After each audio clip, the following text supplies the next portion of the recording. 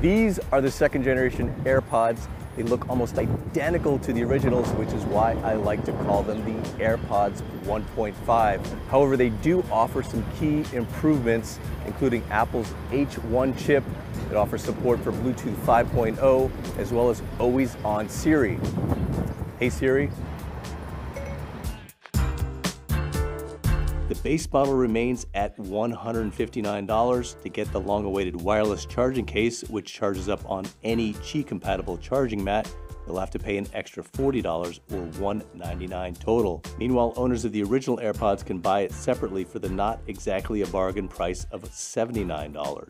The only way to tell the two cases apart is the addition of a tiny LED on the outside of the wireless one and the placement of the pairing button. That illuminating dot lets you know that the case is charging, however, it turns off after a few seconds of the case being on the pad. The new H1 chip helps facilitate the AirPods' other big new feature, the widely expected addition of always on voice recognition. That means that instead of double tapping one AirPod to activate Siri, you simply say, Hey Siri, to activate Apple's voice assistant. It worked quite well in my tests with zippy responsiveness, and it just might get you to use Siri more often if you don't use it that much right now. You can still program double tapping to activate Siri, but most people will program it to skip tracks forward and back. While there are no volume controls on the AirPods, you can now just tell Siri to lower or raise the volume you can also tell her to skip a track, faster connection times between all the Apple devices you own, and 50% more talk time, one hour more compared to first generation AirPods.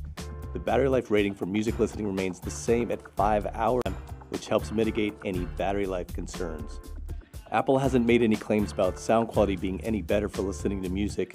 It's about to noise isolating earphones. When you put them in your ears, they don't sit in the exact same position, so it's a win so you can have a conversation outdoors and people will hear you better.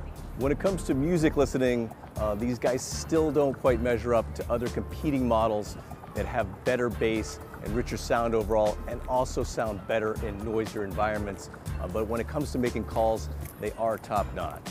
Like the original AirPods, these also work with Android devices and other Bluetooth devices. However, certain special features uh, will not work with those devices.